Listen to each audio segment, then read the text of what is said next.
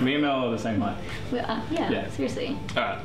Hey guys, hope you guys are getting super excited about Elevator for this year. We are so excited. Less than a week to go, and we are flat out preparing and getting the last things ready for you guys before camp. So many leaders are waiting for all you kids, and there's heaps of campers this year. Yeah, we got a ton of campers that haven't been to camp before, so this might be your first time. So we thought we'd make a little video with some information of things you might need to know before going to elevator. Let's do this. Let's do this. Pump. Alright, number one, this year our guest speaker who's going to be doing all the talking this year is a man by the name of Brenton Colleen, and he is awesome. Super excited to have him on board speaking. He's a funny guy, he's got tons of hilarious stories. So get excited about getting to know him. Super excited to hear what he's got to say. Oh yeah. Oh, Oh my yeah. gosh. Second thing.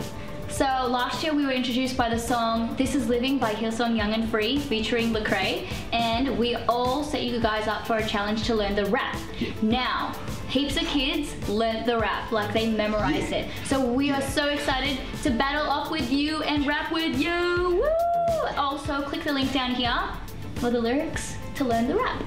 Yeah. West side. Bloods. Bloods.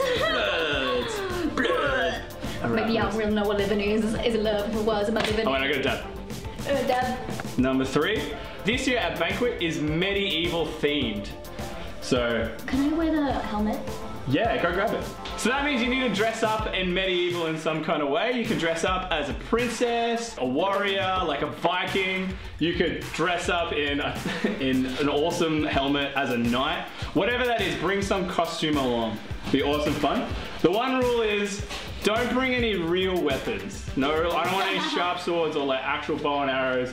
This one here is very, very foam. But I want to see your awesome costumes with what you can bring. Yeah. Yeah. This is so cool. Okay, guys, what to pack? Here we go. Caleb, hands out.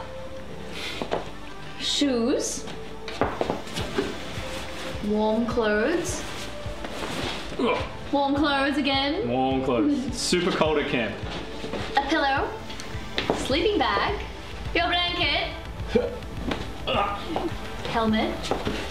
I believe that's costume. Helmet costume. Clothes to get dirty in.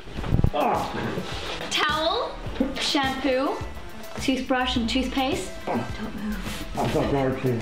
torch for the night game, Bible, and a pen.